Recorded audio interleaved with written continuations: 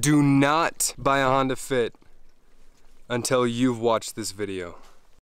How's it going guys? Welcome to my channel and this video is basically a few things that I really wish that I would have known before I bought this car. Let's get into it. Now for a daily driver or a first car, this interior is sort of what you would expect. You've got your regular stereo, AM, FM, aux cord, battery charger, You've got AC with full controls. You've got your glove box. But the one thing I hate about this interior is there is no center console.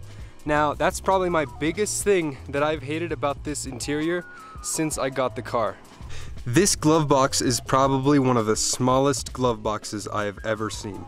I've got about maybe three or four books back here, which are manuals, car receipts, maybe a receipt to a battery or a service check, and all I really have room for is a small flashlight, a few snacks. Now believe me, all the moms watching this video, I know you're gonna wanna stuff the glove box with napkins, suckers. This interior has way more space than you think it does. This interior is fairly nice and I've grown to love it. But one of my favorite things about this interior is I can take anything and anyone anywhere. Let me show you what I mean. I'm a pretty tall guy. I stand at about 6'1", but when I sit in this car, my head is still nowhere near the ceiling. Now with my seat settings, my seat is almost all the way back. My knees still don't touch the front seat. As you can see, there's a lot of space in this back seat.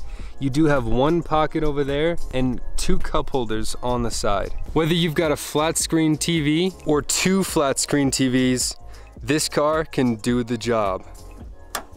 Sometimes I've had to go to a couple auto parts stores just to find this exact battery. But as for the rest of the engine bay, it looks pretty good, especially when you include all of the aftermarket support there is for this car.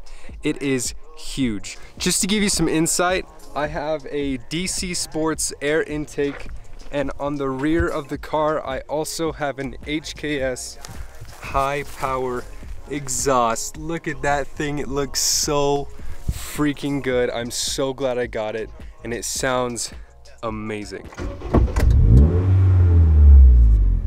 It sounds pretty good. Now this car does drone a little bit around 5,000, 6,000 RPM on the freeway. And that is because this is a little car with a little puny engine, so it would make sense that this car doesn't make that much horsepower.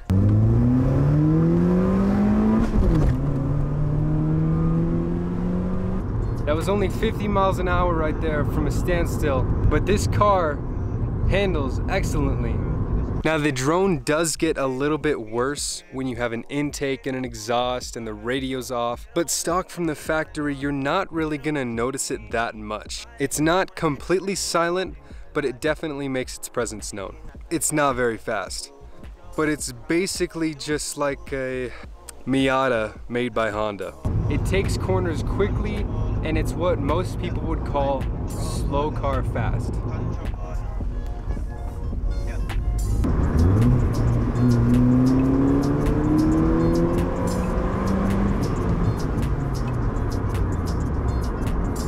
If you like this video, leave a comment below, subscribe, let me know what you think. I'm gonna be making more and more videos on the Honda Fit, so make sure to be on the lookout for that. And I guess I'll uh, see you guys in the next one. Peace out.